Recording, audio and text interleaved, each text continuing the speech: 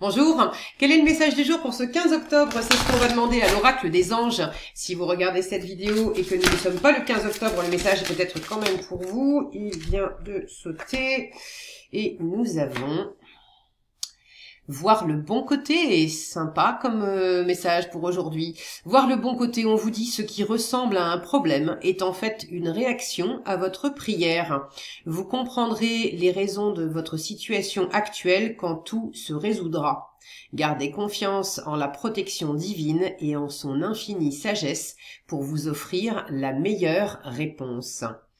Donc des fois, les choses peuvent nous sembler contraires à, euh, contre nous, mais là on vous dit euh, non, même s'il y a quelque chose qui est un peu difficile, euh, c'est c'est exprès et c'est en réponse à quelque chose que tu as demandé. Donc n'hésitez pas à réécouter ce petit message et je vous souhaite une excellente journée.